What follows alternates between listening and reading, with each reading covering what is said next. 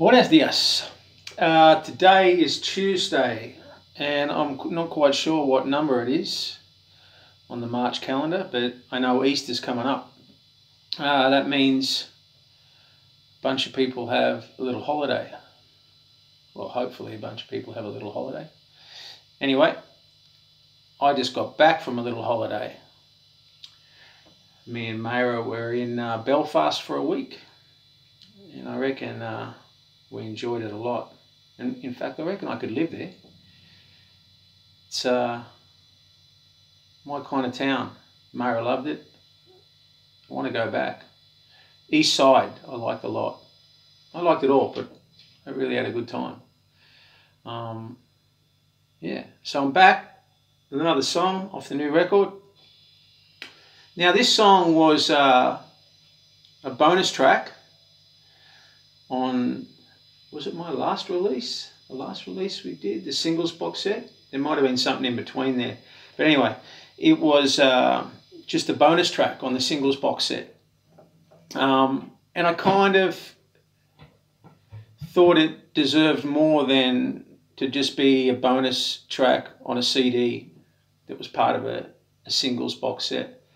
So, yeah, I wanted to give it more life. Uh, quite proud of this song. I, I, kind of I like its feel. I like uh, the hope in it. Um, yeah, I really like this song. I mean, not to say that I don't like the songs that I write, but this one, I enjoy playing it. I enjoy listening to it a lot.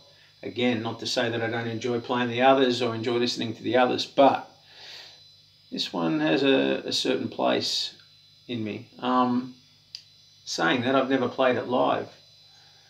I should change that. There you go. That's a plan I'm going to work on. So this is a song um, called Love Over Fear that, like I said, I reckon deserved to be more than just a bonus track. So while in Philadelphia, uh, we re-recorded it uh, with St. James and well, I re-recorded it with St. James and the Apostles in the mighty Green Rock Recorders studio in Philadelphia above the Green Rock Tavern. Um, yeah, and while I was sort of sitting around with Jeff showing him the structure of the song, I could hear Jamie, who's who when I first met Jamie, uh, it's got to be more than 25 years ago now. He was a bass player, a great bass. Well, he still is a great bass player, but he was a bass player in, um, in a band called the Three Four Tens, and um, great band.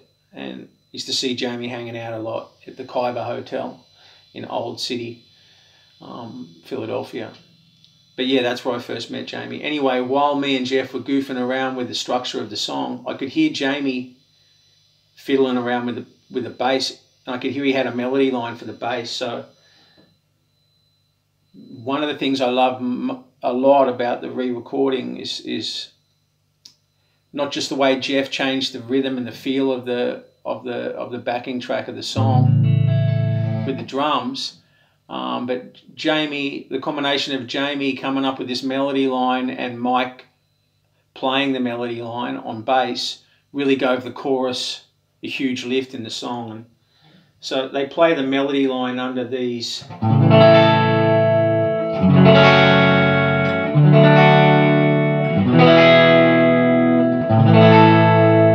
Under those chords, which is the intro, but it's also the, the chorus in the song and I'm going to more than likely fuck this up, but it'll give you an idea of the melody line they come up with with the bass that sits under those chords, and it was something like.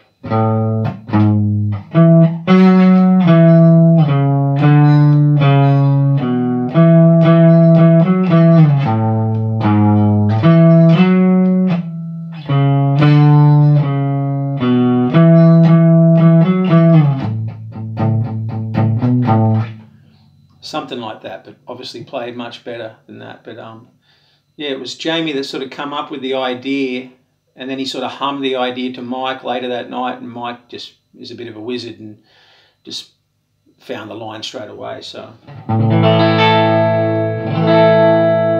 yeah, like I said, underneath the chords of the chorus, but the song is like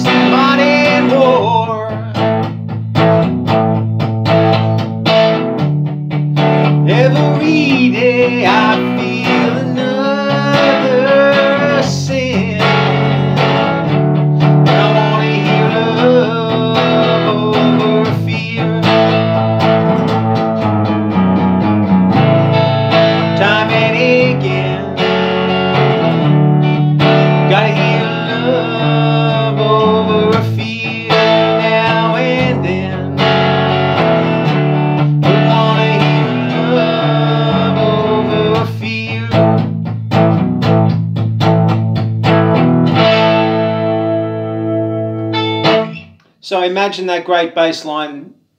Well, imagine the baseline being much greater than the little demo that I did just before, played underneath that chorus. Really lifted up, up, up the chorus a lot.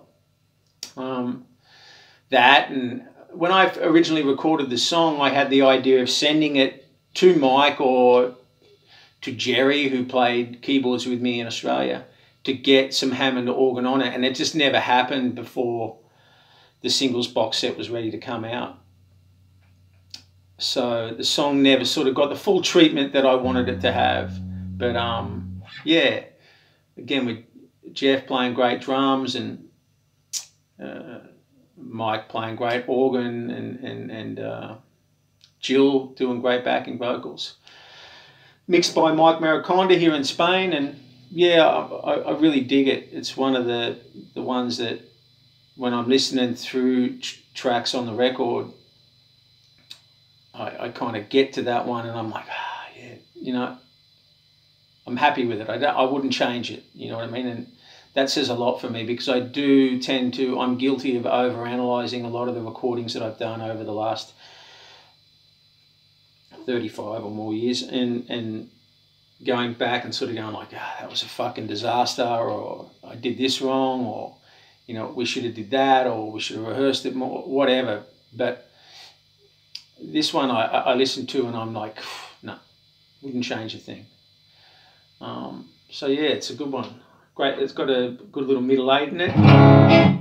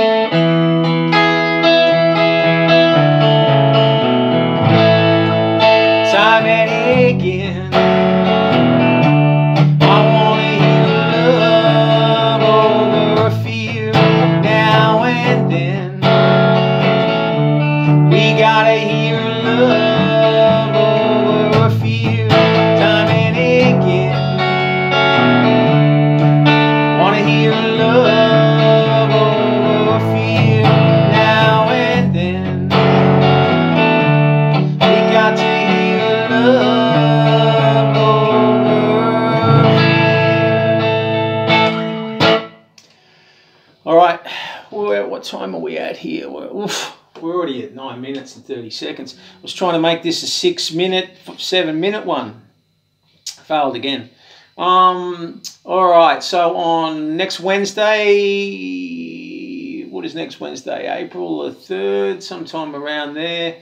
Um, the second single off the album comes out, Mr. Fast Gun, written by myself, Carrie Phyllis, and Craig Jackson many moons ago.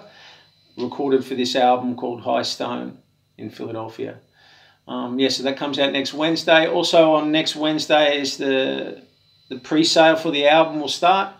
Um, uh, the album coming out on FOLC Records through Spain and Europe and through Cheersquad Australia and New Zealand. Um, so the pre-sale will be done. I, I'm trying to trying to remember that I've trying to think that I've remembered everything and probably forgotten most of what I've said. But you know, I'm striving to make them not to not take up too much of your time. That's what I'm trying to do.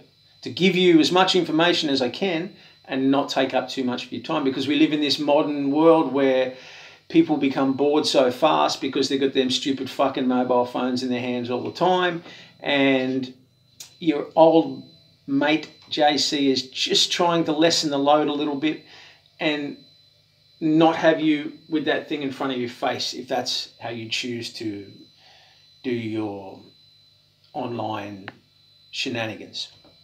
So, trying to help, but probably not. But think I've remembered everything, but probably haven't. There you go.